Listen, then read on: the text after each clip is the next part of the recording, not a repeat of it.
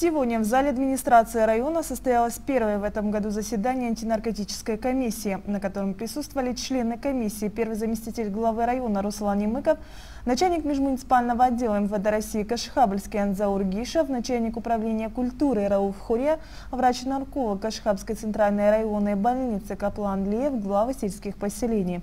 Заседание прошло под председательством главы района Заура Хамирзова. По первому вопросу повестки дня о состоянии наркоситуации и результатах работы, направленной на противодействие наркоситуации на территории Кашхабльского района, доложил начальник межмуниципального отдела МВД России Кашхабльский Анзаур Гишев. Приоритетным направлением оперативно-служебной деятельности межмуниципального отдела МВД России Кашхабльска является борьба с незаконным оборотом наркотиков.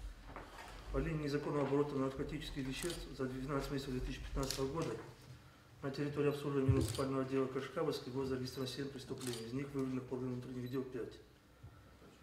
Также было возбуждено 7 уголовных дел, из них направлено в суд с обвинительным заключением в 7. В результате мероприятия из незаконного оборота было изъято 832 грамма марихуаны, 50 кустов наркотиков, содержащих растений конопля.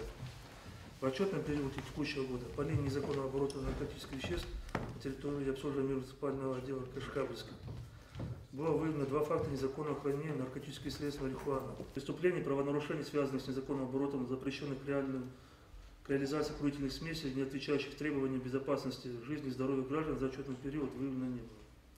На профучете в Кашкабском районе состоит 21 лицо, допускающее немедицинское потребление наркотических веществ. Из них синдромом зависимости 16 человек потребляющих эпизодически.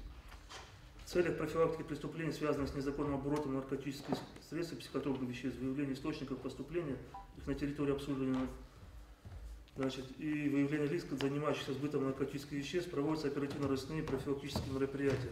Об организации и состоянии работы по профилактике наркомании среди учащихся общеобразовательных учреждений и молодежи, в том числе состоящих на профилактическом учете, рассказала заместитель начальника управления образованием Эмма Пиштикова. В целях профилактики преступлений и правонарушений среди учащихся, пропаганде здорового образа жизни – профилактике наркомании ежемесячно осуществляется сбор и анализ данных о несовершеннолетних, не посещающих или систематически пропускающих учебные занятия без уважительной причины. Для выявления детей, не приступивших к учебному процессу, проводятся профилактические рейды, это в сентябре месяце, дорога в школу, в Силобуч и в течение всего года. В начале учебного года в общеобразовательных учреждениях района составлены и утверждены планы мероприятий по профилактике наркомании, пропаганде здорового образа жизни, в соответствии с которыми ведется работа среди учащихся школ. По третьему вопросу повестки дня, проводимой работе по профилактике и предупреждению злоупотребления наркотиками, в муниципальных образованиях Ходзинской и Вольнинской сельских поселениях отчитались глава Ходзинского сельского поселения Рамазан Тласнаков и заместитель Вольнинского поселения Наталья Коломазенко.